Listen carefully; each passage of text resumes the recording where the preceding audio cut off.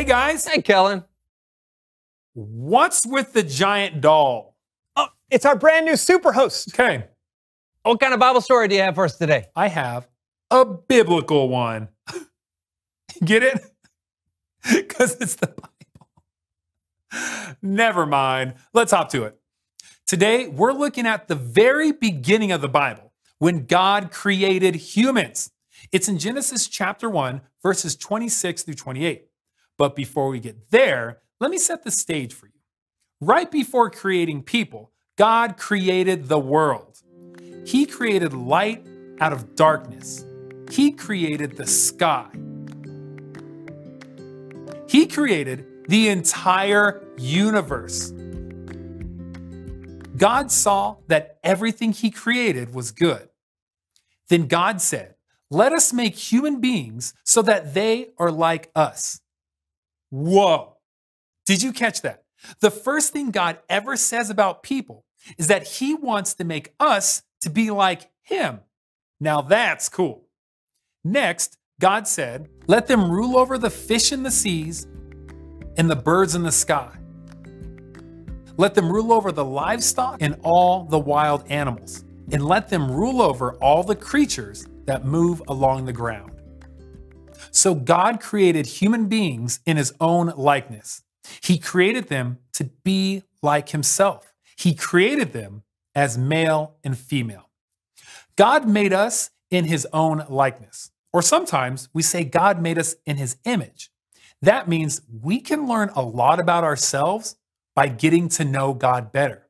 And we can also learn more about God from the people we see around us. It's not just when you look up at the stars or see a beautiful sunset that you can feel closer to God. You can see God all around you in everyday moments. You can see how God loves to be in relationship with us, how he loves us, how he teaches us, and how he takes care of us. We can see God's heart when people are kind and loving to one another. You can learn a little bit of how joyful and fun God is when we spend time with our friends. And here's the deal God is creative, He's strong and brave, He's extremely smart, but He's also gentle and caring. And that's just to name a few of many amazing things that come from our Heavenly Father.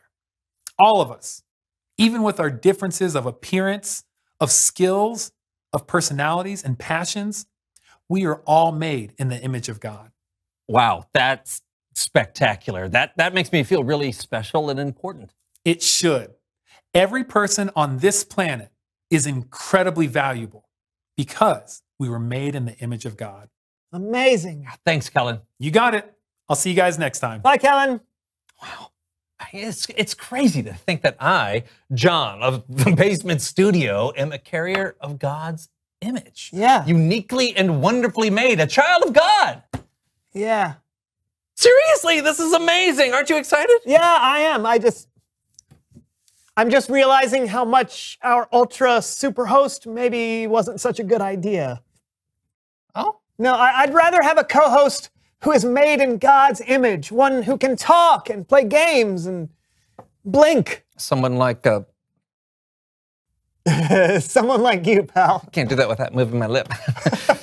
You're a great host. oh, really? Thank you, buddy. Yeah. So, uh, uh, what most about my hosting skills reminds you I was made in God's image? Is my good looks, my, my sense of humor? Is my minty fresh breath? Yeah. Reveal the question. How would you describe God? That's a big question. Yeah, Kellen gave us lots of great examples like the way God loves us or how he's brave and smart and gentle. But, well, like he said, that was only a few descriptions. Mm-hmm. What pops out in your mind when you think of God? and we will see you guys next time. I'm John. and I'm Brandon. And I